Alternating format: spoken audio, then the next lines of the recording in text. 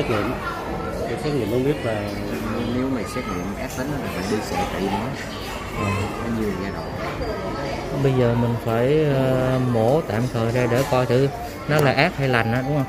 Không trước, trước mắt bây giờ là mổ lấy nước trong nẻo đây trước. Ờ. nó bị đọng nước trong đó. Nó làm ra hàng nhã nó đi không được. Mắt nó bị mờ. Nó làm cho mắt mờ hả? Nước ở trong nẻo nó động ở.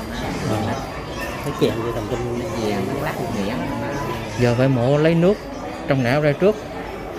Ờ, cũng nhiều giai đoạn á cái tốn tiền dữ mà phải chờ lành vết thương mổ cái con mua đây Ờ, vậy thời gian còn dài lắm đó nha. Dạ